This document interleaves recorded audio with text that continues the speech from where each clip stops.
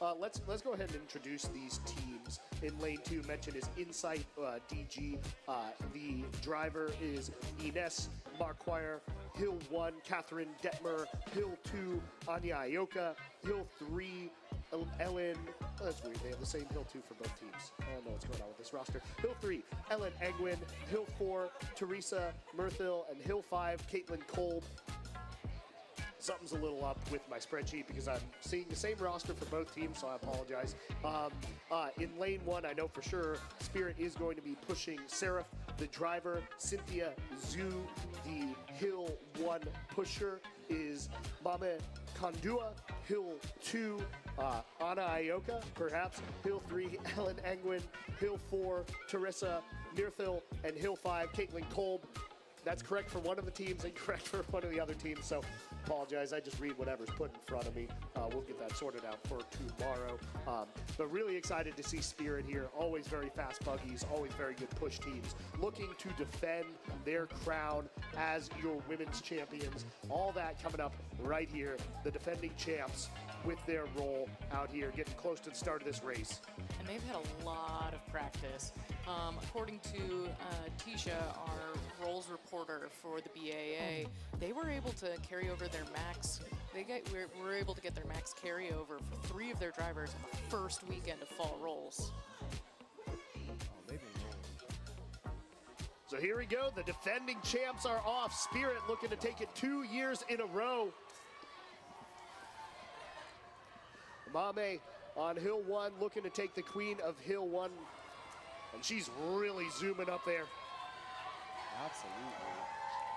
DGA putting up a pretty solid fight, though, not terribly far behind. Wow. Transition there at about 21 and a half, by far the That fastest 1 2 we've seen. Fantastic. All right, let's check this form going into the free roll. Deep, deep shove by Spirit A. Really nice Hill 2 right there. Looking good for the defending Beautiful. champs. Smooth in the free roll. We talked earlier about, uh, you know, kind of what they will do with that uh, offset um, wheel, if you will, to kind of help with the free roll. And uh, definitely looking like the top time of the day. Nice showing so far as we're nearing the chute for Spirit A. Beautiful paint job as always, about a 103.9. Fantastic Excellent. stop sign time. And uh, their top time last year was uh, their winning time at 245.18, looking uh, probably better than that so far, but a lot of racing still to go. Coming into the chute turn, can they keep it together? A little bit of speed scrubbing, but overall through cleanly, and hopefully she has enough speed to pull through. Insite also coming through with a really good turn and a wide apex afterwards, All right. preserving quite a bit more speed than Spirit. Yeah, it looks like Spirit lost some in the chute. Oh. You see Insite coming up pretty closely. So this will be on the back hills.